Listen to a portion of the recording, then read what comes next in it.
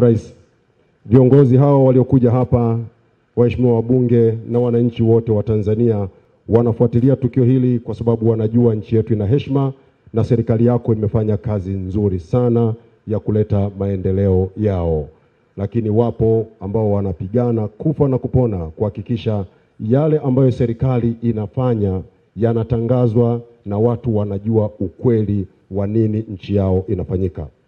Nataka kumleta kwako mmoja wa wasanii ambaye anafanya kazi nzuri ya kuitangaza kazi inayofanywa na serikali ya awamu ya tano kwa Watanzania na watu wengine wanaofuatilia nchi yetu. Nimtambulishe Emmanuel Mgaya maarufu kwa jina la Masanja, siku hizi anajiita mzee. Sasa Nye. mambo eh, Msigwa, inatosha. Ukishataja jina unanyamaza, watu tuendelee na shughuli. Moja ya mambo makubwa ambayo mtu aliyezaliwa Tanzania au Mtanzania anapaswa kujivunia ni kuongozwa na rais wa type ya JPM. Kama unanielewa, piga makofi. Huyu sio mtu wa kawaida. JPM ni chuma na nusu. Angalia. Leo tuko mahali hapa tunashuhudia matukio makubwa ambayo rais ameliongoza taifa kuyafikia ndani ya miaka mitano. Can you imagine? Sasa hivi ambavyo mmependeza, mmepiga masuti hivi, suti sio ishu, piga kazi kwenye kiwango cha rais, tuone matokeo. Na Mheshimiwa Rais, ni kuombe tu, teua haraka haraka mawaziri, watapata presha. Kuna watu wanatembea na vidonge vya presha hapa. Watu wanajiuliza lini mkeka unashushwa, tujue nani amerudi, nani nani nani. Wanatembea na vidonge vya presha. Mheshimiwa Rais, chagua waendelee, tujue nani anakuja na nani anakuja. Tayari vyuma viwili vimegongwa hapa. Hii ndiyo Tanzania tunayoitaka.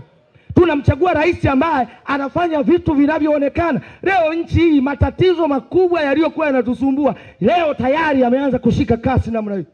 Pale Arusha walikuwa wanasema oh, tuna shida ya maji maji maji. JPM kagonga mradi wa bilioni mia tano ishirini. Leo wako safi, mambo yanaenda.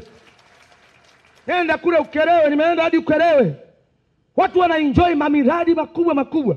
Alafu zamani walikuwa wanapata shida ya usafiri pale, oh, watu wakwenda Bukoba, Mwanza, kutoka Mwanza kwenda Ukerewe, sijui pale nini, imeshushwa bilioni mia moja hamsini na tatu kuhakikisha pale vitu vinainuka vinakaa vizuri. Si upige makofi kwa ajili ya JPM. Wengine mko bizi, hamjafika hayo maeneo mengine, ndio maana nawasaidia kuwaambia nani kama JPM. Leo serikali yote iko hapa, angalia viongozi wako tunamwapisha. Na mheshimiwa rais, nikwambie moja ya mambo ambayo umejaliwa ni pamoja na Mungu kukupa viongozi wa kukusaidia wa kiwango cha namna hii, na majaliwa akiwemo mwe. Piga makofi pia kwa ajili ya waziri mkuu na makamu wa rais.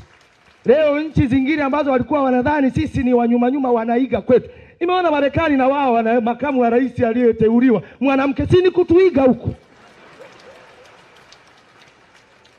Lazima ndio haya nataka niwaambie, sio lazima Tanzania kila wakati iwe ya kuiga watu, watu watuige na sisi. Tuliona pale kwenye bunge hili linavyoanza, kuna baadhi ya wabunge wamekaa bungeni, oh, nchi haina hata ndege, haiwezekani nini nini, chuma kikashusha ndege kuliko walizokadiria. Alafu ndege zimekuja, oh, haiwezekani ndege kununua kesi, hatujawahi kuona. Kama hamjawahi kuona, ndio tumeanza. Watu wajifunze kutoka hapa.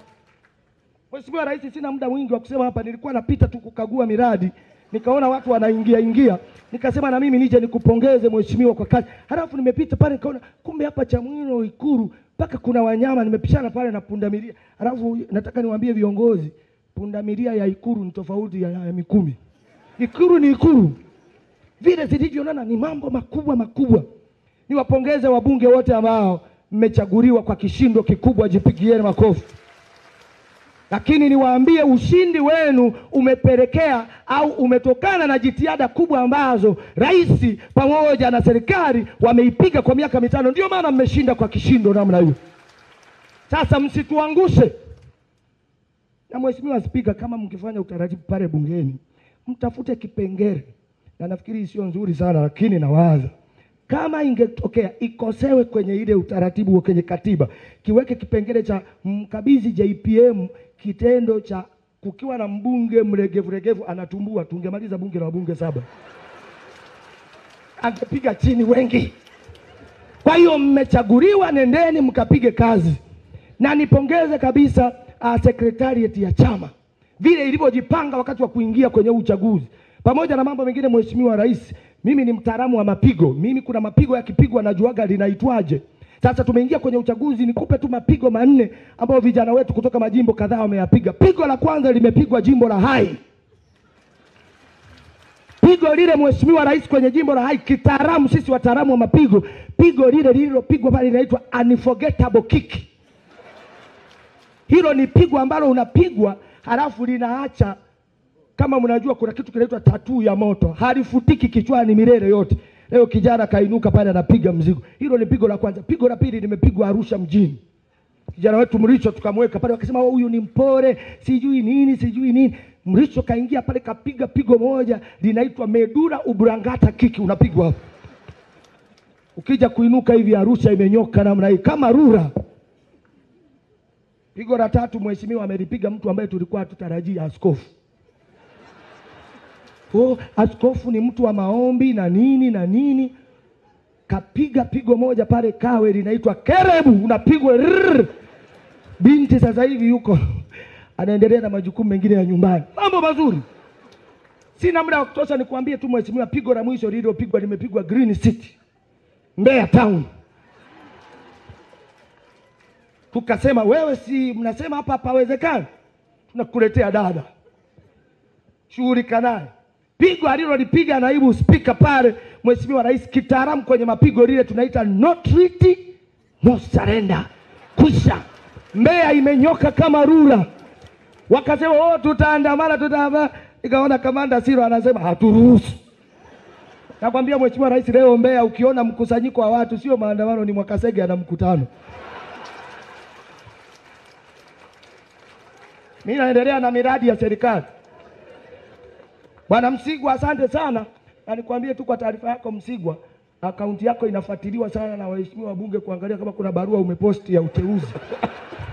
Watu hawalali, kuna watu wanalala wametegeshea akaunti hivi kuona vimewekwa vitu havijawekwa. Mmetisha sana, hatari sana, mengi tu yamefanywa.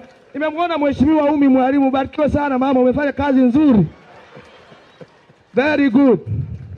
Mheshimiwa Nape, nimekuona Nape upo. Endeleeni na majukumu ya kitaifa, hata sisi tuendelee na mengine ya kazi za kitaifa huko. Niko Ikulu, uelewa hapa ni Ikulu. Haya, tuonane Songea kwenye mradi wa maji. Asante Mheshimiwa Rais. Huyo ni Emmanuel Mgaya maarufu Masanja mkandamizaji. Makofi mengi kwake. Masanja pia ni mchungaji, anamiliki kanisa lake na anatoa huduma za kiroho. Watu wanadhani ukiwa mchekeshaji huwezi kuwa kiongozi wa kiroho. Ni kiongozi wa kiroho na ana kanisa lake Dar es Salaam na maeneo mengine kwetu hapa